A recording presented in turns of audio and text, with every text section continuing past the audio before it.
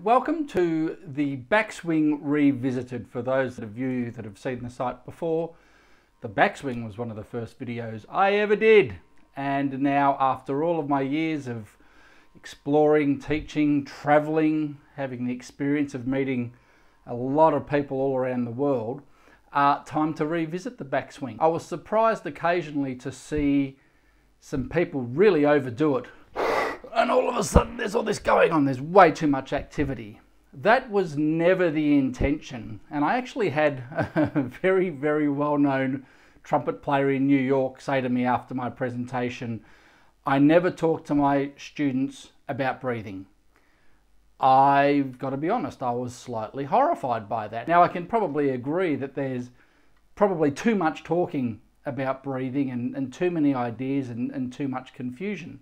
However, at the end of the day, the issues that I was having when I was at university, uh, people were saying, you know, Greg, you sound great, but I was killing myself and everything was hard work. And I'd put on an album by my favourite players and listen to the, the freedom and fluency of their playing and go, I'm not playing like you, I'm, I'm working way too hard.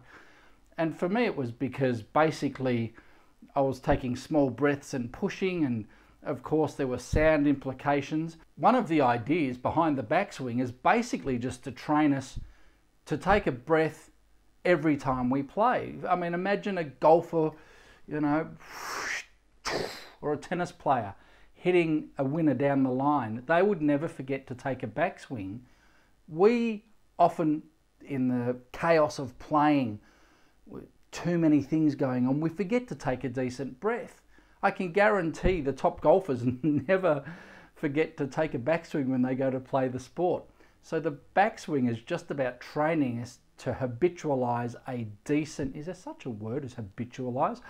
Taking a proper breath every time we go to play.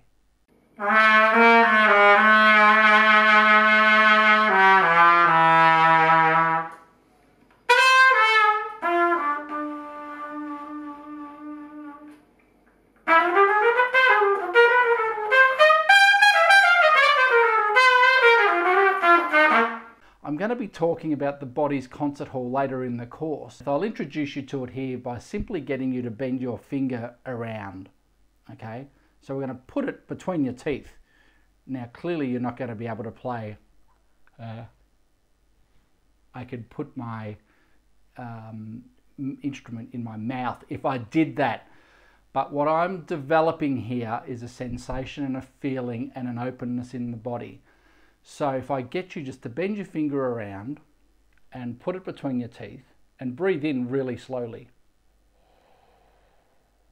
Now just go as far as you can without getting tight in the body. I want you to do it one more time with your eyes closed. And I want you to determine whether that's a familiar feeling or a foreign feeling. We'll talk more about that later. However, I will let you know that that openness that we develop by doing this is the feeling that I have all over the entire range of the instrument.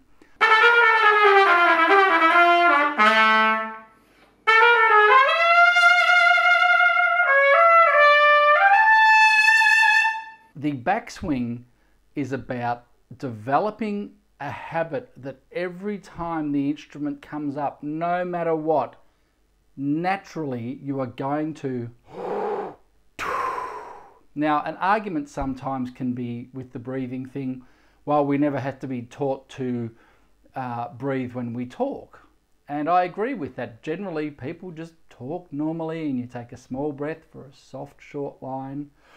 You take a big breath if you're going to yell at someone and you take breaths in between for whatever you need to be saying. However singing is a different ball game and I think, uh, no, I'm, I do not think, I'm positive that uh, breathing habits uh, and efficiency are very important when it comes to singing. We are working on an efficient breath to enable one, a wholesome sound, and two, an efficient approach to playing. When we're moving the hand in front of the mouth, I want to suck air past the hand, but I don't want the body to tighten up is the same as but without the hand. But every time that hand moves, we're training the brain to take a breath. So whether I grab the visualizer,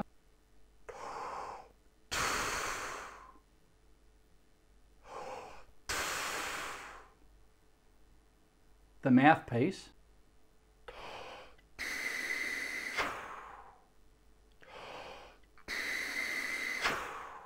the breath is being commanded by the movement of the hand.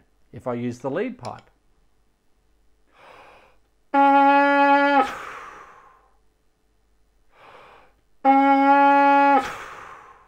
or if I play the trumpet.